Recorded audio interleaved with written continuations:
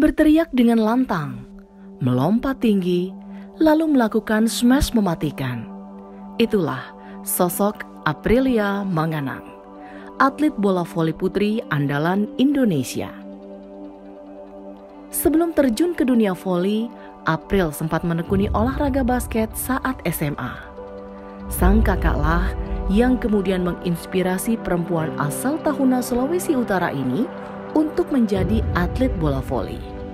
Seiring berjalannya waktu, bakatnya di dunia voli mulai dilirik klub profesional.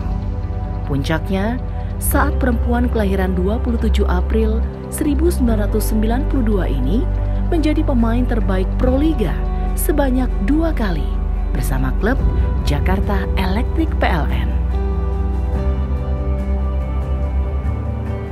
Asian Games kita, ayo Indonesia.